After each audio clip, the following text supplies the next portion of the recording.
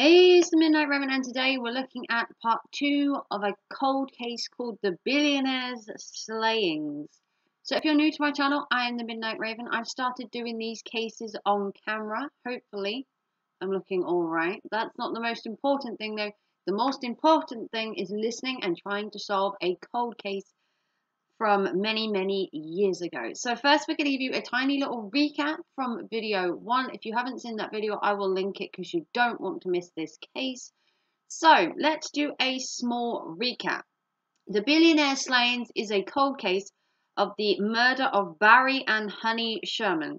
They were both found dead at their house in their backyards and they had leather belts attached to railings that were tied around their necks and the pressure from having the belts pulled up on the railings effectively hung them. They were both found dead by estate agents who came to sell the house and they were meant to be doing viewings that morning to prospective buyers. So this is what we know so far. So moving on. So on the 12th of December, Honey had failed to attend a meeting at a geriatrics foundation. She failed to appear and people thought this was strange. She'd given no reason for not turning up and her absence seemed very unusual. Later on, an email was received from her saying that she was dealing with some stuff and basically wouldn't be there. A little strange? Maybe. So, it did seem a little strange. So the next day, Barry and Honey were meant to be visiting their own company headquarters to look over the details of a new house design. That was the last time they were both seen alive. Barry was due to be back in the office on the 14th of December but failed to show. The next morning, the estate agents then found the couple dead in their backyard. So the couple could have died up to 36 hours before being found. So, how are the police handling the case? So, the progress in the case being made by the police was slow, but at that time the police did believe that the couple's killing was suspicious and they were looking into people in and around them as they were kind of high publicized people to see whether links could be found who would want to hurt the couple. So suspicion fell on Barry's cousins, the Winter brothers. So Kerry Winter once said he had an utter disdain for Barry and that he believed he betrayed him and had every reason to hate him. Kerry had always so stated before that he had thoughts of hurting Barry and strangely enough, Barry had asked him before if he would arrange for the murder of his wife, Honey. So this is very, very strange. Barry wanting them, his wife murdered by these brothers, and these brothers apparently having a hatred and wanting to hurt Barry. Seems very sus, but we will continue. So, tragedy struck the Winter family many, many years before this occurred and Lewis Lloyd Winter, Barry's uncle, had died, leaving behind a fortune to his four young children and a wife, Beverly. Years before, Barry had worked for his uncle one summer when he was younger, and he was working at his uncle's company called Empire Laboratories. He was completing his PhD here, and when Barry finished his PhD, he offered to buy the company, making a business proposition. So, he was allowed to buy the company under stipulations. One condition was that Lewis's four children were allowed to work for the company the day they turned 21 years old, keeping, hopefully, the business in the family. Another stipulation was that when the sons had turned 21 years old, they could buy a 5% stake in the company, which would also keep the company in the family. They were also granted a 15 year royalty on four of the best selling drugs that the company had. And the agreement would become void if Barry sold the company. So, Barry agreed to these terms and bought the company.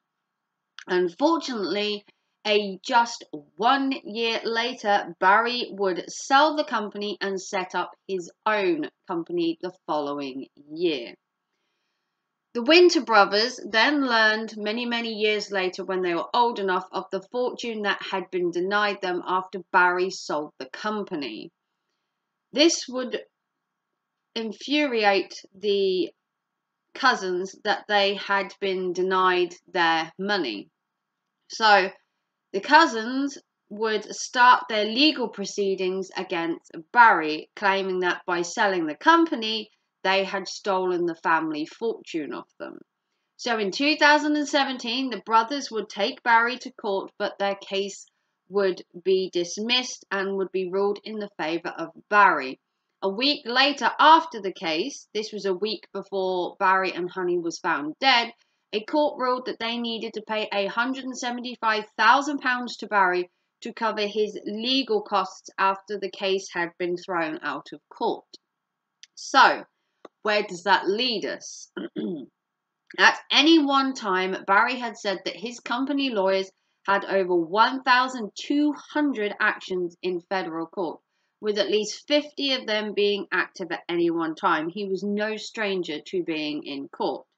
In January 2018, police concluded that the couple's death, Barry and Honey, had been a targeted attack. Who did this targeted attack and the reasons why still remain a mystery. By 2019, officers had a working theory in progress and they were looking at many more leads. By 2020, they had a person of interest but were not releasing any names to the public and keeping their cards, as they call it in the police force, close to their chest. So, in 2022, as I'm speaking to you right now, the case still remains open. No one has been arrested for the murder of Barry and Honey, and investigations still continue into the reasons of why Barry and Honey had to die and who the suspects were. There are many, many theories on whether the Winter brothers targeted Barry and Honey for losing their fortune. There are theories that maybe a drugs company targeted them to get Barry out of the way. There's another theory that a drug deal had gone wrong and some other shady business that Barry was involved in behind the scenes that his wife knew none about could have also targeted him. Many, many theories have been thrown around for many, many years since this death happened. And today we still don't have any answers. So, why Barry and Honey were killed and who killed them still remain a mystery. The case is still open as of today, and they are still looking, as they claim, into a person of interest and following more and more leads as they become available. So if you want to see more from me, give us a big thumbs up, comment down below. Do you believe the Winter Brothers really did target Barry and Honey? Do you think somebody else targeted them? Let me know what you think down below. This case still remains open and it really did pique my interest. So if you want to see more of these, give us a big thumbs up. If you want to support the channel and my research that goes into these cases, consider becoming a member for behind the scenes videos. Also consider doing a PayPal or give me a super chat so I know you like the channel. Also follow me on Instagram as well. I do load other stuff on there, not necessarily true crime theme though mind you. But if you want to see more from me, remember I load videos every day and I bet you cannot wait for my next cold case. And I will see you very soon for another video. Take care and thanks for watching. Bye guys.